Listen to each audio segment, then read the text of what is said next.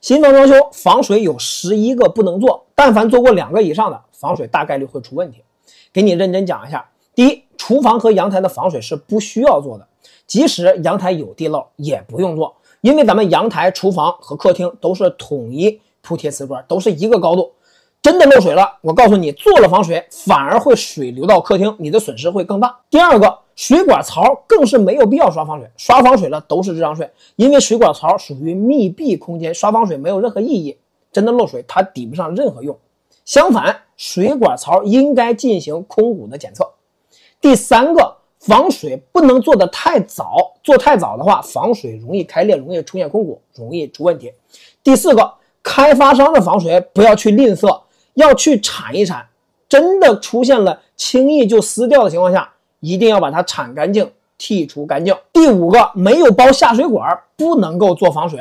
下水管与我们墙的根部有很多的死角，直接做防水的话，会容易出现漏水。第六个，卫生间的地面不能有水管和电线，只能有下水管，其他杂物都不能有，这样的防水的死角才会更少，防水也会更容易。第七个，卫生间的地面没有做坡度，不能够做防水。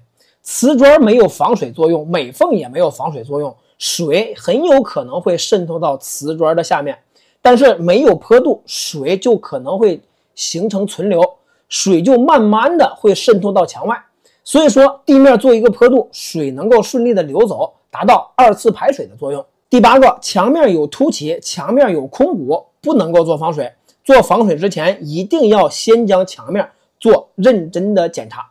第九个，做完防水，万一剩了点余料，不要倒入下水管，一定要扔到别的地方，不然你家下水管容易堵塞。做完防水，一定要把下水管冲一冲。第十个，不做闭水实验不叫防水验收，闭水实验四十八小时才能够进行验收。